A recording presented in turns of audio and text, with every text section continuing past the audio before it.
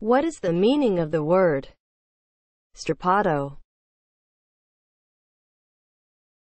as a noun?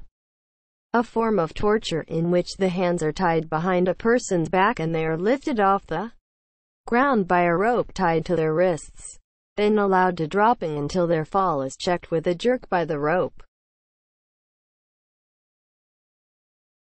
Strappado is spelled S T R A P P A D O. Strappado